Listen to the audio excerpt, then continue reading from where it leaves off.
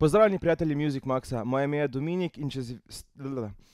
Pozdravljeni prijatelji Music Maxa, moje ime je Dominik, in če ste v iskanju novega hišnega ljubljenčka, ste na pravem mestu. Ne gre za hišno žival, ampak v bistvu za odličen vadbeni ojačevalec, ki mu ni para v tem cenovnem razredu. Nux Mighty Light BT. Jaz jim rečem kar namizni ojačevalci, ker so tako majhni, prenosni in kompaktni, da grejo skorajda v žep. In omogočajo tako napajanje z adapterjem kot tudi baterijsko. Kar pa mi je posebej všeč, je to, da adapter že pride z ojačevalcem, medtem ko pri različnih ostalih ponudnikih po navadi dobite zraven baterije. ojačevalec se lahko poveže preko Bluetootha s telefonom, kar pomeni, da lahko tudi z v bistvu Nuxovo, Nuxovim tem appom, dobite najrazličnejše dodatne zvoke, če jih želite, za, za ta ojačevalec.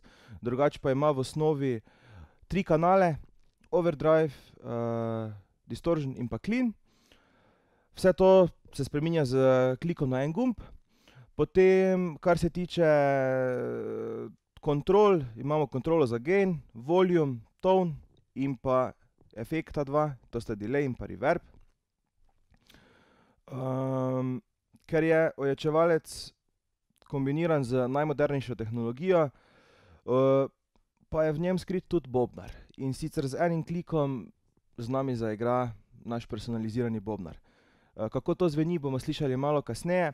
Naj omenim še, da ima ojačevalec tako povezavo z aux kablom, kar pomeni, da lahko iz telefona ali iz katerekoli zvočne naprave zvok predvajate preko tega ojačevalca in igrate s svojo najljubšo skladbo. Ali pa vadite čisto potiho, da ne zmotite sosedov, s slušalkami.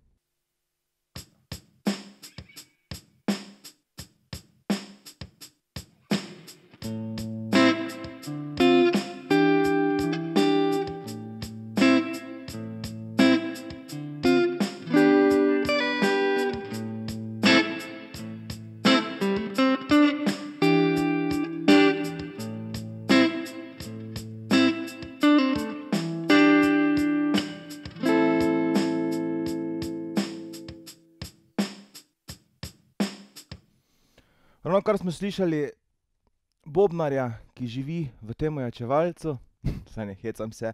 v bistvu gre za različne patterne bobnov, ki jih imamo v ojačevalcu že shranjene in lahko zbiramo med njimi, tako da je odličen pripomoček za vadbo z ritmom v bistvu in za glasbeno napredovanje. Zvok kitare je bil clean, se pravi, je bil clean kanal, zdaj pa še preverimo ostale zvoke. Se pravi overdrive.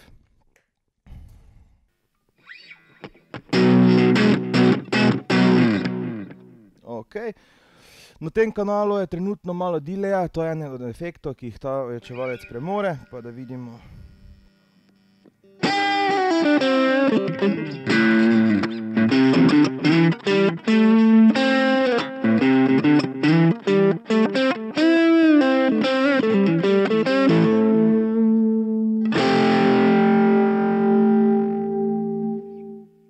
Naslednji kanal je distortion kanal.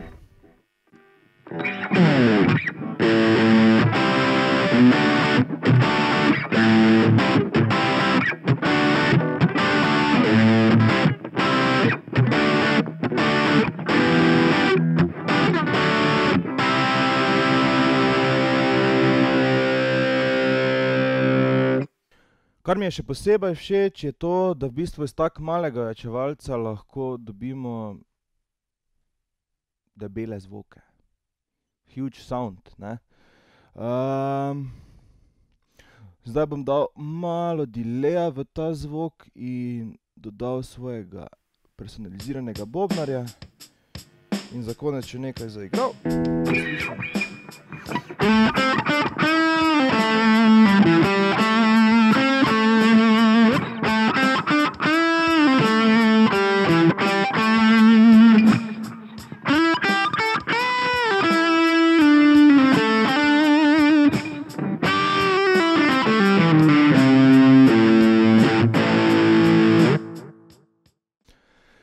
Če vas je ta nezahtevni hišni ljubljenček prepričal, potem ga najdete na naši spletni strani www.musicmax pika si.